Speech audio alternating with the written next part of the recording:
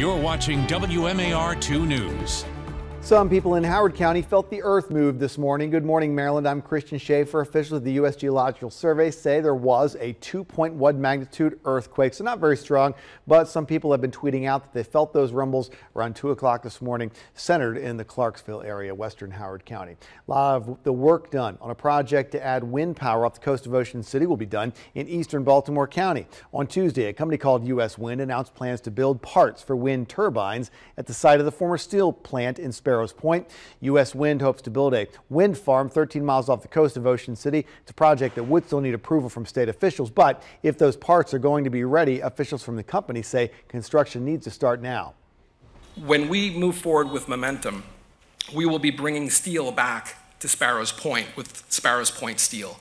It will be the first offshore wind component manufacturing facility in Maryland, one of the first and largest of its kind anywhere in the United States.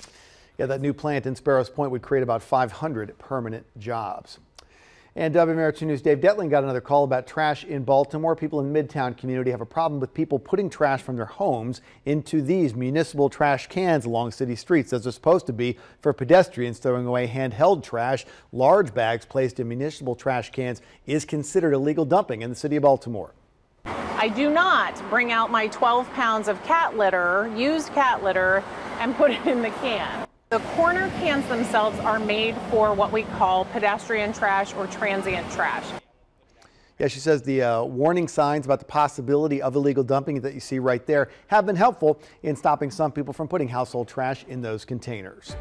And if you've got a problem with trash in your neighborhood, Dave Detling might be able to help. Email that to dave at storyideas at WMAR.com.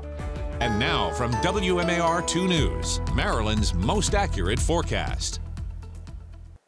Happy Wednesday, everyone. As we get up and over the hump, we are tracking some clouds to start, and then we will have some sunshine in here as the day goes on. Tracking temperatures below average once again, and also the chance for some showers and some thunderstorms. Uh, possibly today we could see a shower, but it looks like it's going to stay more to the south of us. In terms of those temperatures, numbers will be in the low 80s for today. So again, below average. Christian, back to you. Okay, Lynette, thanks very much, and stay with us online at WMAR2News.com all day long for updates on top stories and breaking news.